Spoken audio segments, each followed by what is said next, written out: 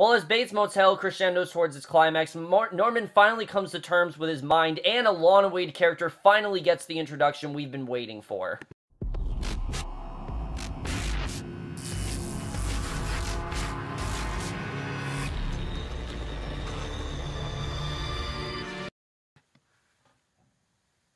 Hey guys, remember Bates Motel, Season 5, Episode 5, Dreams Die First, and I know that I am a week behind on this show. I meant to review this last week, just didn't really have the time to. There were other things I needed to review. Um, but I was definitely looking forward to this episode. Obviously, I've really been enjoying this season so far, and this episode was incredible. I mean, this episode was just amazing. I love the way this episode was done.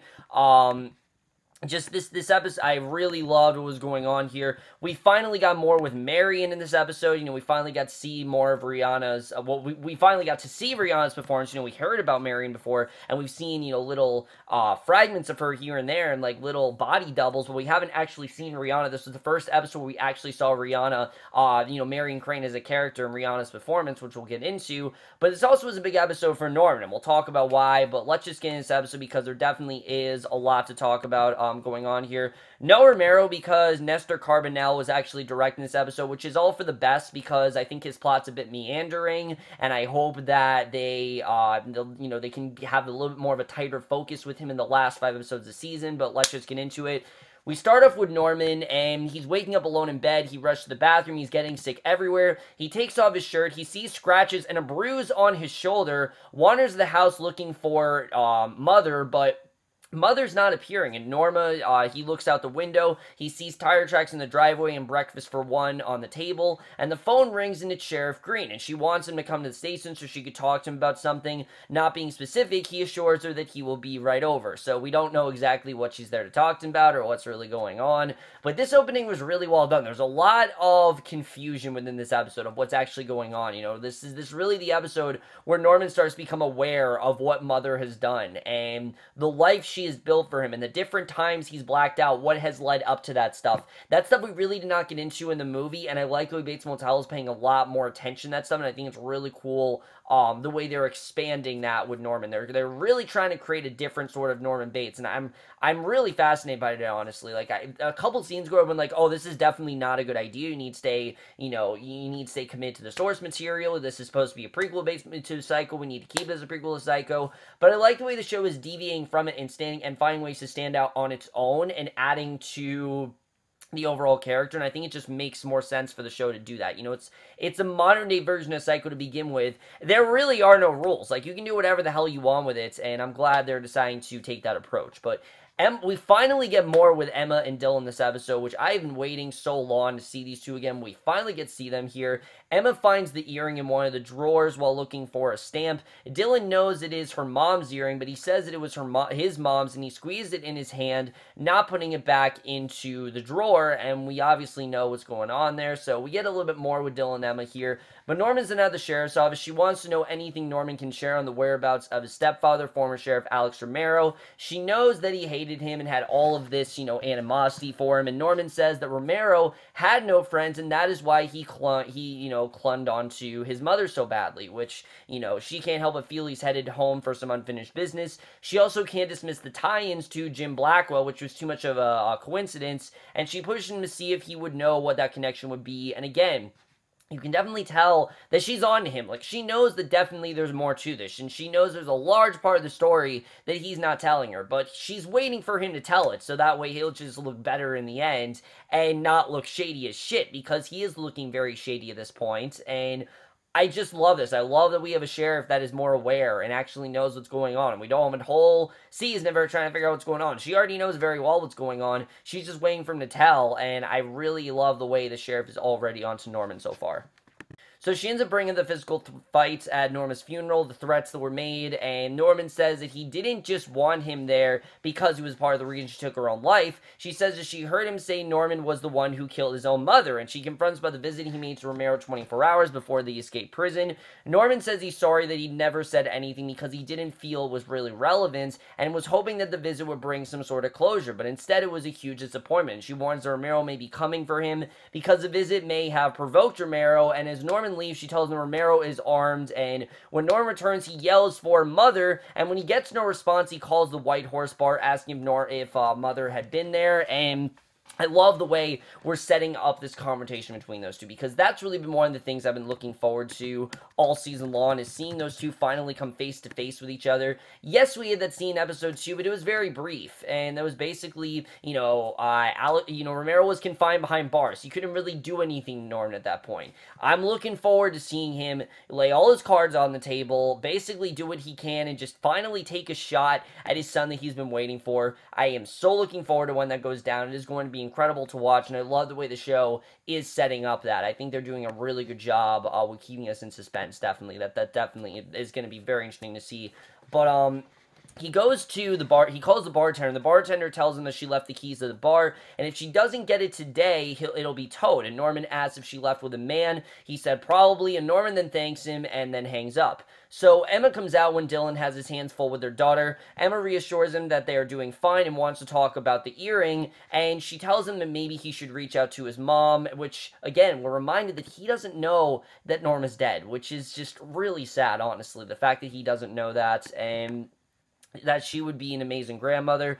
Dylan gets rude with her, tells her to drop the Norman thing because he knows what he wants and doesn't need to be told differently. He doesn't want to have to go back to Norma. You know, he persuaded Norman way too many times, you know, to come to get out of the house and that it wasn't safe for him to be there. Norma didn't listen and he doesn't want to go back there. And I like that Dylan has a reason for not going back there and he's stuck by it. You know, he's made an entire life for himself without it. And I like that. I like that Dylan really made something of himself. I can remember back in season one when Dylan seemed like he had no direction, that he didn't really know where he wanted to go in life. And I like that he does want to know this point. He does seem to have an end in sight. It really is showing how much his character has evolved. And that's something I'm really loving. It's just the way the show is focusing on these characters and how much, how far they've gone throughout the show. Dylan is one of those characters who's gone through quite a lot. You know, he started off the show, he was, you know, the no life. He was kind of like the uh, the black sheep of the family, you know, the one that no one really wanted anything to do with. He was there, you know, he didn't even call him, he didn't even act like Nora was his mom. But over time, he grew a lot of care for his brother, and he just realized that the best thing to do for his brother is for him to not be in his life. And eventually, he's going to have to go back there, though. We know he's going to get back to the motel at some point. I think that time is definitely coming quite soon, and I think this episode definitely shows how that is going to happen.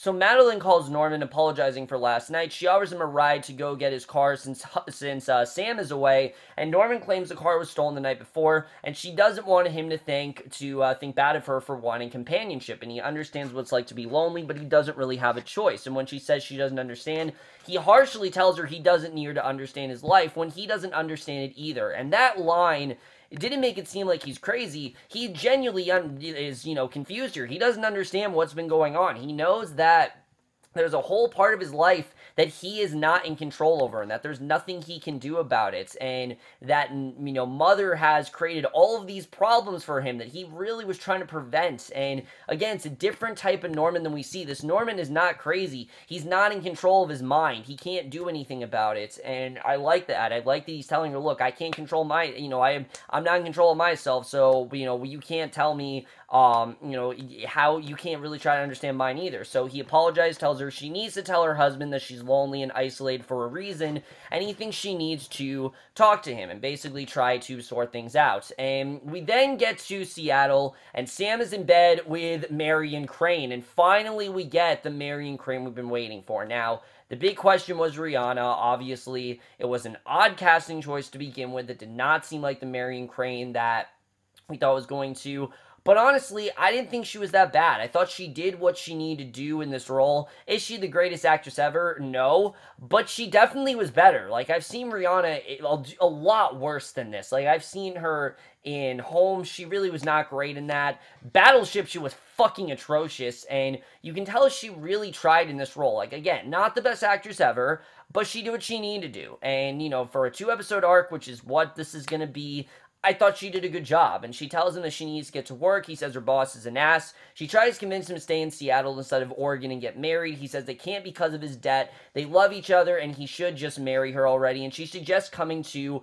White Pine Bay. And he's persistent that she be patient. They will have a life together. She says that she has been patient. And she has other options and he says he gets it he doesn't deserve her. She says she just misses him and they hug before he leaves and marion rushes into work. She arrives into the meeting to have papers notarized. The client taunts her with a briefcase full of cash calls her sweetheart as she closed the door, and essentially this is setting up the movie. We know the movie started off, you know, with Marion having the whole like embezzlement scandal, and that's what they're setting up here. That Marion is involved with some really shady shits, and I like that. I like the way they're setting that up here. I think it's a good way of modernizing it. But Madeline S. Norman, who he keeps insisting she speaks with, uh, she speaks with her, and uh, Sam asking what does he know that she doesn't, and Norman actually tells the truth about Sam bringing another woman to his motel, and now before he ever met her. And she's obviously very upset that he's known the whole time. You know, this is something that he didn't have the heart to tell her. You know, they claim to be friends, but he didn't tell her. And she says she was the idiot in the middle. He apologized. She says that he could be saying it to tear her and Sam further apart. She shouts at him to get out of her damn truck. And I love this. I love that Madeline finally cracked her. Like, she's not completely, you know, she's not just this happy-go-lucky person like she has emotions and she gets quite upset when norman did this to her because yeah i mean this is a really bad move on norman's part you can understand why because again he doesn't want to get close to madeline because he knows of what will happen to him if he does um, but at the same time, this is definitely something he probably should have told her. And it's definitely something that I know obviously probably wasn't Norman's main priority. There are a lot of other things on his mind right now, especially when you have the mind of Norman Bates. It's a very confusing mind overall. Uh, but this is probably something he should have told her about. I mean, this is this is common sense, really. He probably should have just told her what went down and then things would be better there. But Isabelle McNally's doing such a good job in this performance. I really am loving what she's doing here. She really did show the layers that Madeline had in that scene. I think if it hadn't been for this subplot of Madeline, I don't think we'd like Madeline as much as we do, and I think she's really bringing Madeline to life in a way that she, and you know, lesser actress would not have. So Norman then goes into the bar asking for the keys. The bartender asks if he's okay to drive. Norman says he is. He takes the keys. Norman asks if he has seen Mother, and he asks if it was a trick question. Norman asks if she was in the company of a man who looks like an escaped convict. He asks if she's joking, and Norman gets into the car, says it's going to be all good, and he finds a pair of black lacy panties in the back seat of the car. And Freddie Highmore's reaction to this was both really funny, but also really disturbing. Just realizing what has been happening, and you know what sort of stuff that he's been engaging himself in and indulging himself in when he's in these blackouts. Because remember, Norman doesn't remember this stuff. He has brief little glimpses in his head, but now he's at a point where when he blacks out, he's fully blacked out. I mean, he doesn't remember anything that went down. And I love the way he's starting to remember what actually happened here. And the way he's starting to gather things together just shows how more meticulous he's becoming and how more intuitive he's becoming with his mind. And I definitely like seeing that here. And again, Freddie Highmore just nails this role so well. I love what he did there. But Marion's invisibly upset at work. Her boss shows up at her desk even though she's feeling sick. He asks her to deposit the money before the bank closes. She stands up, says she's interested in Janet's job. He says that she should work on a degree in night classes and invest in her future. And she asks him for a raise. He berates her, tells her that her sense of timing is horrible and to come in early on Monday and ask at a sensible time. So she returns to her desk, stares at the case of money in front of her, and we know obviously obviously now she has a lot of choices. You know, she could either take the money and run. She could do nothing with the money. So I like the way they did set up, you know, what happens in Psycho. And sort of like this is kind of like the prologue to what happens before that first scene in Psycho. Remember that first scene in Psycho was her and Sam together and her and Sam engaging in this thing. I, I like the way that was done.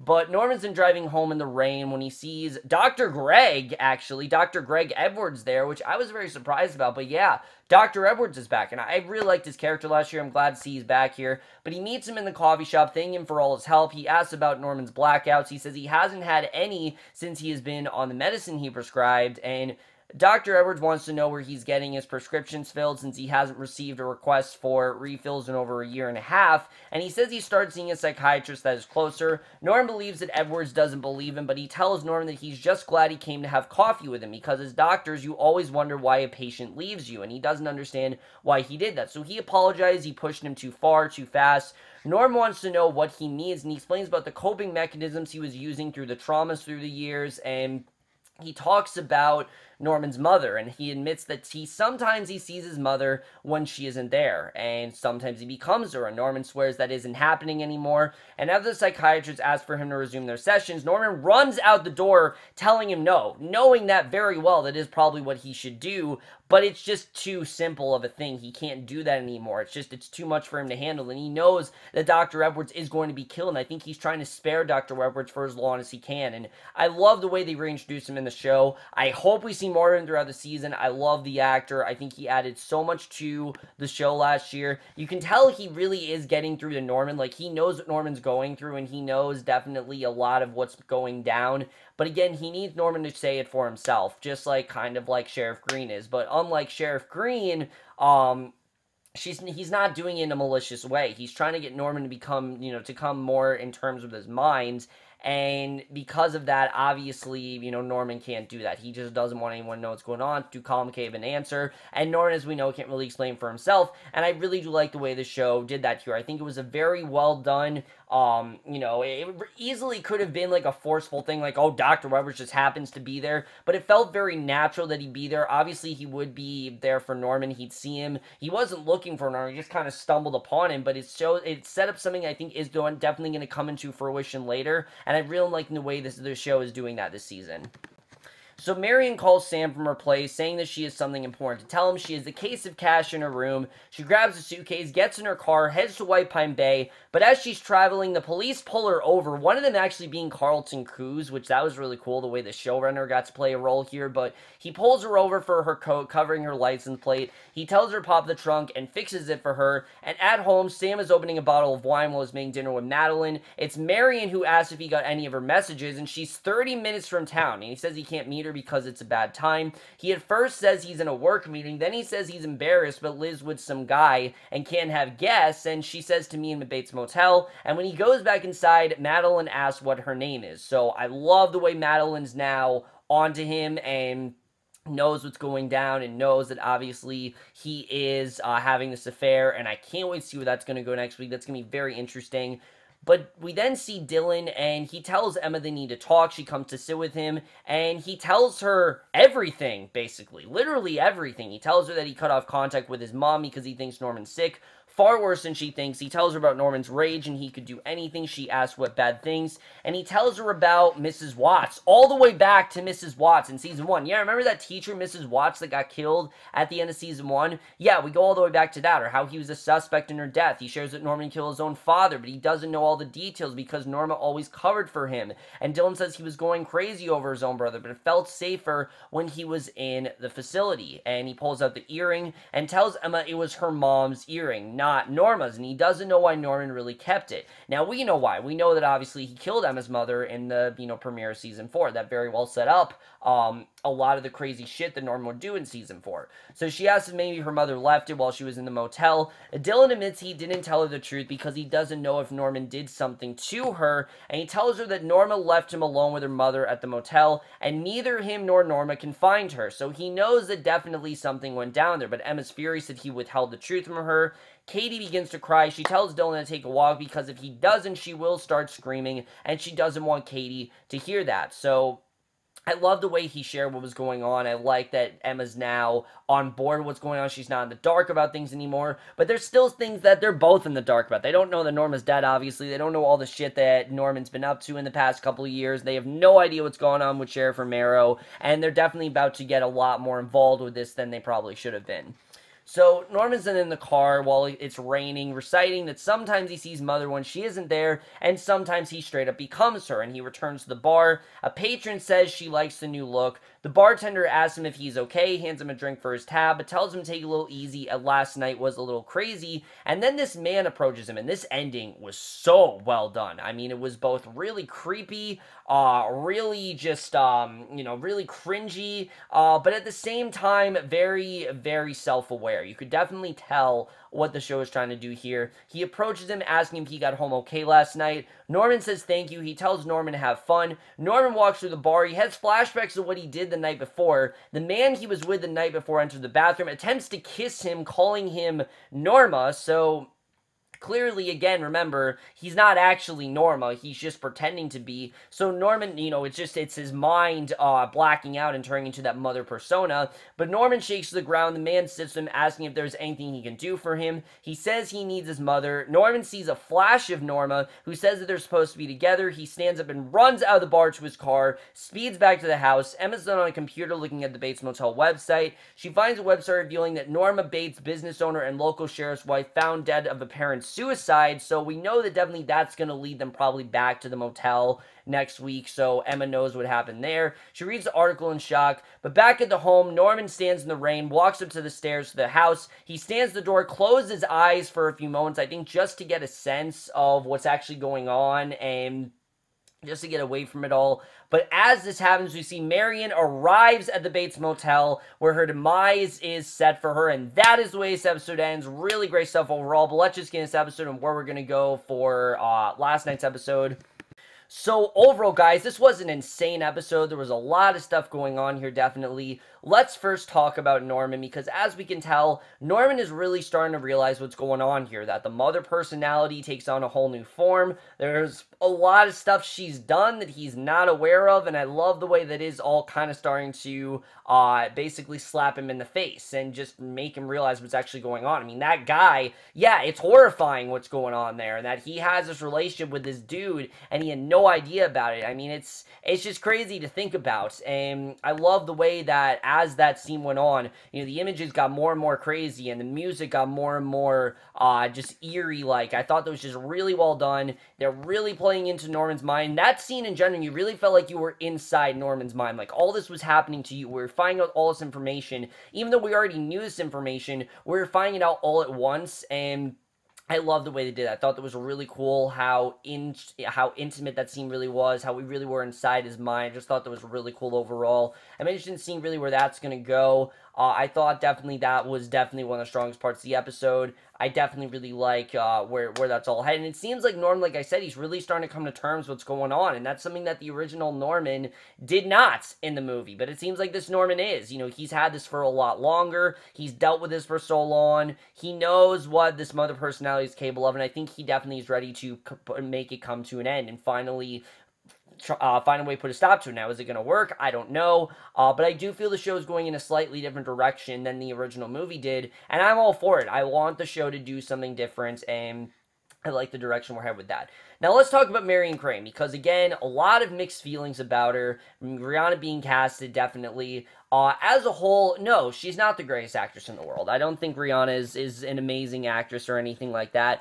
But she is a huge fan of Bates Motel, and I think because of how big of a fan she was, and because of how big of a role Marion Crane is, she's trying to pay as much respect to the role as she can, and she's giving it all she possibly can. And that really did impress me overall. I thought for the most part she did a really good job. You could tell the pain that Marion's going through. She's very perplexed as to what to do with this money situation. You know, does she take the money and run? Does she abandon the money? I mean, this is a lot of dirty money, and this is a very dirty scheme that she's involved in. And at the same time, she's already in a dirty scheme. She's having, you know, she knows she's the mistress of Sam Loomis. So obviously, there's a lot of stuff in her play right now. And I like the way Rihanna's performance, you know, she was able to juggle all that. And I'm interested in seeing where we're really going to go with Marion. But remember, guys, she's not a main character, and she's only going to be on for a couple episodes. And I thought what she did here was serviceable. It wasn't amazing. Definitely, it wasn't up to the quality of Isabella McNally. I mean, Isabella McNally's just nailing that role, definitely. Um, but she did what she had to do, and I thought for the most part she did a really good job. I liked seeing her on the show. I'm interested in seeing where she's gonna go, and the you know I think she's only gonna be on for like two or three episodes, but I'm interested in seeing where she's going to go for us the show because I like what we're getting with her so far. I think it's cool the way the show is able to get her uh, something of that caliber for a role like this. I think definitely it's kind of cool the way the show reinvented that character. I think they're doing a good job with that. Uh, Madeline's reaction, I think, was definitely sound. You can understand why she reacted to the way, you know, she did. I mean, this was a big thing. She had no idea that Norman knew her husband was cheating. And she knew definitely, like, she always had an inkling about it, but she had no idea that Norman was aware of it. And that obviously made her quite upset. Really wished that Norman, you know, told her more about this and was a little more uh, forward, but he obviously wasn't. And so she's obviously going to be pissed about it. It's understandable why she's pissed. So I'm glad that we saw her actually get angry. It shows how many layers she has. I'm really digging Madeline as a character. I think she's really added a lot to the show, and I'm interested in seeing really where she's going to go because I think she's doomed. I am pretty sure she's the one who's going to get killed in that shower scene. I know the shower scene takes place in the next episode. I feel like she's going to be the one to get killed. It just seems like that's what we're crescendoing towards. I don't know if that's actually what's going to happen, but it just seems like that's where we're headed. So we'll have to see what ends up happening there. I think that's going to be interesting. Um, as far as uh, Sheriff Greene, though, I like that Sheriff Greene's onto Norman. We know definitely that she knows what he's up to, and she knows that definitely has some sort of past, and that definitely there's a lot that he's hiding from her. And he's not making himself look any better. I mean, if anything, I think he's making himself look more shady than he actually is. And if that's even possible. That's exactly what Norman's doing. He's making himself look more and more shady, and it's just going to end up biting him in the ass. And I don't know if it's really going to work out well for Norman. I think he's just going to make things worse for himself. So we'll have to see where that ends up going. Because right now things really are not going well for one Norman for one Norman Bates. But uh, you know we'll have to see what ends up happening there. As far as eh, Dylan and Emma, though, I like that Dylan and Emma, you know, they're now starting to put pieces together of what's really going on, and now they have a reason to come to the motel, and this is really going to set up that final confrontation. Just like we're saying the confrontation between uh, Norman and Romero. I mean, it's really feeling like a final season in ways that other shows don't. The show is really finding a way to plant every seed for the final season. Even though we have five episodes left, the show's doing a great job of saying, okay, we have five episodes left. We're going to make it feel like we have five episodes left. It's feeling like the end. It's feeling like there are a lot of things that are starting to be wrapped up, and I love the way the show is handling that. I think the show, in many ways, this is a new show, but it also is a epilogue, and I love the way the show is handling all of that. Overall, guys, I absolutely love this episode. This is by far the best episode of this uh, season so far. I really am interested in seeing where the rest of the season is going to go. And I am going to give this episode Bates Motel Season 5, Episode 5, Dreams Die First, a 4.5 out of 5 or an A minus. So for guys, remember this episode, Bates Motel. Let me know what you guys thought of this episode overall. Loved your thoughts on it. Do you like where the season is headed? Are you interested in seeing where Marion's going? What do you think of Rihanna? I think that's a very back and forth opinion. Some people really like her, some people really hate her, and I'd love to know what you guys think of that. But that's my review. Hope you guys enjoy it. We'll see you guys in my next video, which will be for, I think, Legend of Tomorrow. Uh, I did watch all three of the past three episodes of Legend of Tomorrow that I did review. I will do one big review of all those, and I will see you guys for that. Okay, bye.